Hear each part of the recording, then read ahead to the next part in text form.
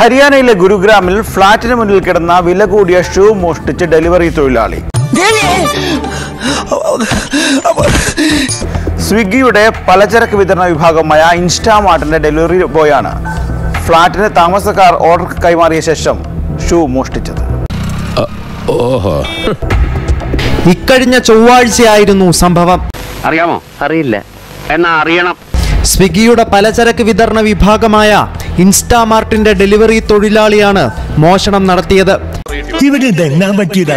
തലയിൽ ഒരു തോർത്ത് കെട്ടി ഫ്ളാറ്റിൽ താമസക്കാർ നൽകിയ ഓർഡറുമായി വന്ന തൊഴിലാളി.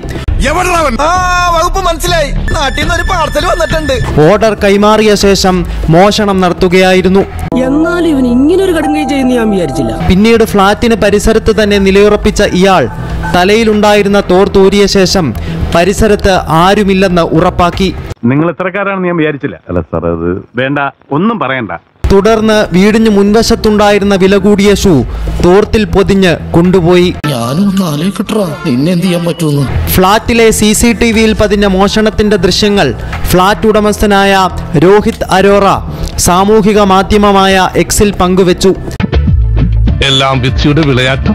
ദൃശ്യങ്ങൾ വൈറലായതോടെ പോസ്റ്റിന് താഴെ കമന്റുമായെത്തി സ്വിഗി ഈ നായിന്റെ മോനെ ഇനി ഞാൻ കൊന്നുകളയും ഡെലിവറി തൊഴിലാളികളിൽ നിന്നും ഇതല്ല തങ്ങൾ പ്രതീക്ഷിക്കുന്നതെന്നും അധികം അങ്ങോട്ട് പൊന്തിക്കണ്ട. എന്താ പറഞ്ഞേ?